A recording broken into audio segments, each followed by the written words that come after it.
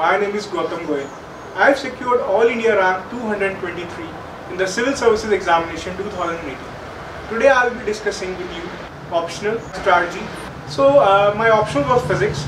So let us first delve into how an optional can be chosen. The choice for an optional depends upon your interest, uh, your competency in that particular subject. At the same time, while choosing an optional, you have to also consult the syllabus and then after that previous year question papers. If that gives you confidence and you feel that you would be able to sustain that optional for next two to three years and you are willing to at least uh, invest that much amount of time in that optional, then you should go for it. With particularly to physics, I believe those who are whether background of bachelor's in science in physics or mathematics or have done engineering in any of the subjects are uh, very well uh, able to take physics as an optional. Uh, it is not mandatory that you should have a graduation degree or a post-graduation degree in physics. A normal engineering degree would also do. I did my uh, bit, uh, Bachelor's of Engineering Computer Science from BITS Pilani. I also did my post-graduation in physics from BITS Pilani. So uh, now I'll be discussing with how physics optional could be tackled. in my case, I took coaching from Dias Institute in Delhi and Dr. Uh, Mr. D.P. Vajpayee, he's the teacher who is actually taking physics course and he tries to complete the course within 4 to 5 months. But uh, you should not be fooled by those, uh, those terms that 4 to 5 months is enough for doing physics because taking any science optional, be, be it physics, chemistry or mathematics, it would at, least require minimum of one year. So you need to at least give half of, more than even half of your time of whole preparation to your optional because for being science student or being from the engineering background, general studies could be tough for you. Therefore, it is physics, it is mathematics or chemistry or even for that sake biology or any other subject that would be the anchor for you. So for physics, there are certain books which are uh, basically known as the golden standards which I think you should follow. For example, the physics paper is divided into two parts, physics paper 1 and paper 2, each carries 250 marks. And in paper 1, uh, we find subjects such as optics, for which uh, the basic book which I did was uh, Ajoy Ghatak, as well as Subramaniam. The second uh, subject in physics is mechanics. Uh, the, uh, the syllabus of mechanics is scattered around in different books, but uh, there are two basic books which I think could be done.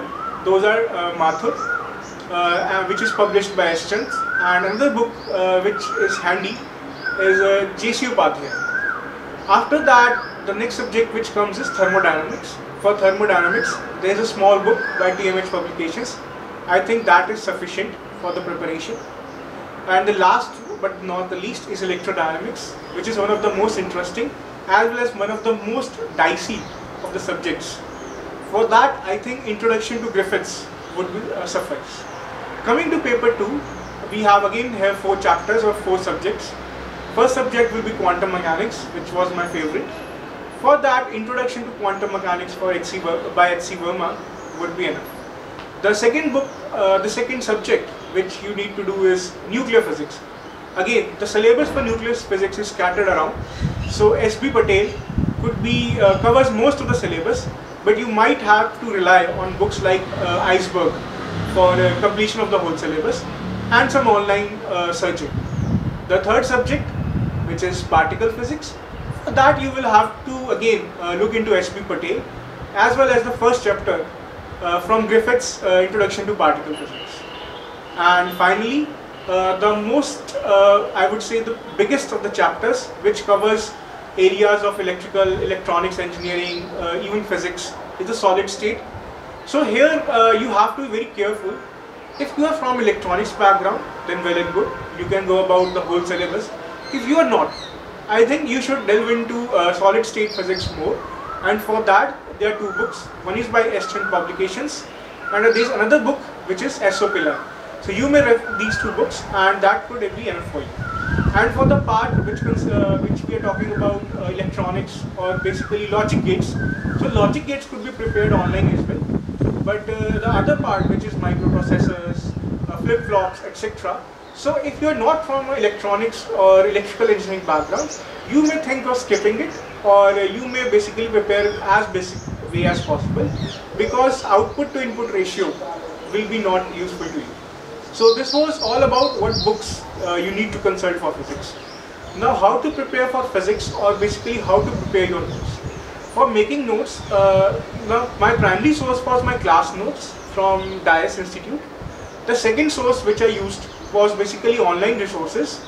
Uh, for example, there are uh, certain toppers uh, previous years such as uh, Mr. Rishabh Gupta sir, or Abhijit Agarwal. So I basically refer to these notes and integrated their material into my own. And the third thing would be your textbooks, which I have just talked about. So you have to integrate these three uh, uh, these three sources into your notes. Now, how to go about note making in physics?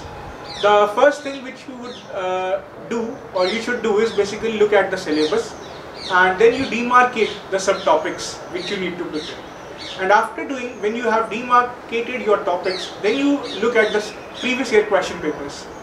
What kind of questions have been asked from that particular subtopic and orient your notes according to that.